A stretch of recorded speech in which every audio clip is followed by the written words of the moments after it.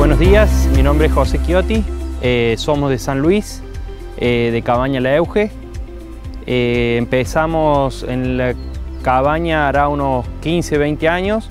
de a poquito fuimos aumentando la cantidad de animales, el rodeo, las distintas razas, incorporando distintas razas. En un primer momento fueron Hereford, después incorporamos el Aberdeen de a poquito Bradford, Brangus, eh, en un momento eh, donde se podía vender unos toros charolé para hacer novillos más grandes, más pesados, también vendimos, o sea, criamos charolé.